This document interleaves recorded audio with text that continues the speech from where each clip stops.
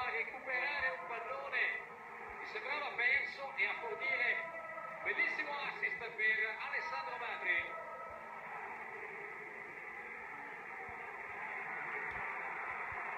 Reclama Del reclama sospetto fallo.